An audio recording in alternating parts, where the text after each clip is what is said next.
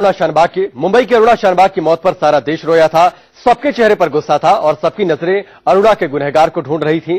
अब वो चेहरा सामने आ चुका है। आखिर कौन है वो शख्स? वो कैसा देखता है? वो आज क्या सोचता है? ये सब इस रिपोर्ट में देखिए। पैंतालीस साल तक तिल तिल कर मरने वाली अरुणा शानबाग का कातिल पहली बार सामने आया है। इंडिया न्यूज़ की टीम ने अरुणा शानबाग के गुनहगार को आखिरकार ढूंढ निकाला। नाम सोहन लाल वाल्मीकि। पहली बार दुनिया के सामने आया है सोहन लाल वाल्मीकि। सोहन लाल अपनी पत्नी और बच्चों के साथ उत्तर प्रदेश में हापुड़ के पारपा गाँव में रहता है।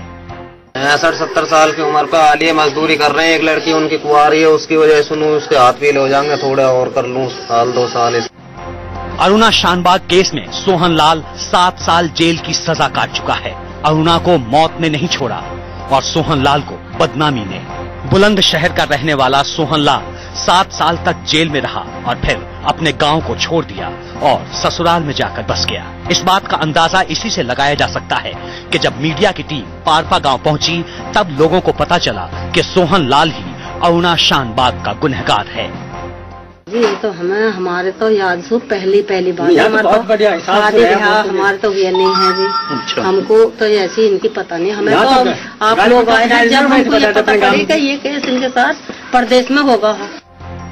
अरुणा शानबाग केस में सोहनलाल वाल्मीकि पर हत्या की कोशिश और चोरी का केस चला था। लेकिन लोगों का मानना है कि अरुणा जिस तरह 42 साल तक तिल तिल कर मरी, उसके लिए सोहनलाल की सात साल की सजा मामूली है।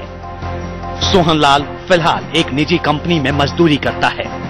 उसके जेल जाने के बाद उसकी बड़ी बेटी की मौत हो गई थी। बाकी परिवार का मौजूदा हाल भूखमरी जैसा ही है। Praveen Sharma, Hapur, India News. और चलिए इसी के साथ फ़िलहाल अभी के लिए बस इतना ही वक्त ब्रेक का। ब्रेक के बाद